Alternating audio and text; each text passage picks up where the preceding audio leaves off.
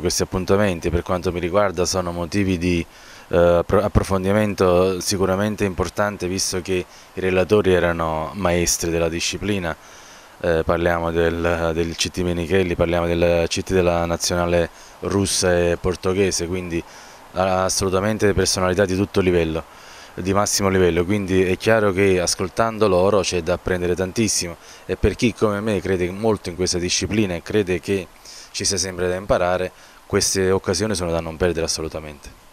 Ecco, per l'appunto l'intervento di allenatori importanti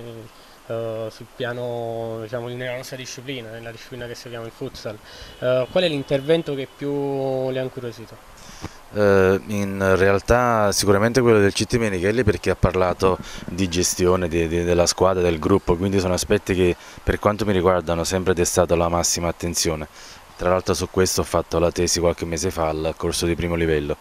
Poi il CT Giorgio Brazza ha parlato invece per quanto riguarda l'organizzazione del calcio femminile in Portogallo che è in una, fase di evoluzione enorme visto che eh, lui poco fa ha detto che per sei anni l'attività è stata proprio ferma, poi è stato lui a, a volere fortemente che la stessa riprendesse e che adesso grazie al suo enorme lavoro sta ottenendo risultati importanti. Gli ultimi CT della nazionale russa sta parlando dell'enorme ma veramente addirittura quasi maniacale attenzione che tutta la federazione rivolge ai controlli continui che fanno sia fisici sia eh, psicologici di tutte le squadre che sono non solo a livello per quanto riguarda la nazionale, quindi non solo tutti gli atleti che eh, coinvolgono la nazionale, anche per quanto riguarda tutta l'organizzazione delle varie fasi eh, nazionali che, del calcio a 5 russo. Calcio a 5 russo che non lo dimentichiamo è in una fortissima ascesa, tant'è che la Russia nell'ultimo campionato era data più favorita rispetto alla Spagna, poi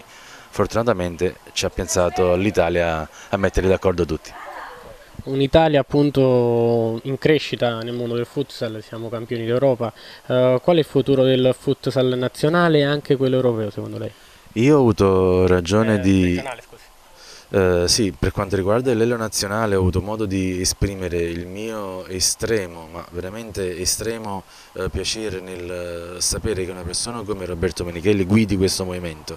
oltre che come, evidentemente come tecnico della nazionale, anche come persona che rappresenta l'intero movimento e ritengo, come ho detto anche ai vostri microfoni in passato, che persona più degna non ci possa essere. Con queste premesse penso che il futsal italiano stia in ottime mani e che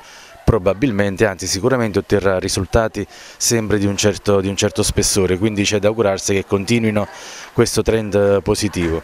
A livello regionale eh, tutti quanti noi addetti ai lavori e non addetti ai lavori notiamo una certa involuzione negli ultimi eh, periodi. Spero che la stessa si fermi e che si riprenda a programmare con successo, si riprenda a pensare su cosa fare e su come farlo, affidandosi evidentemente a persone qualificate sia dentro che fuori dal campo.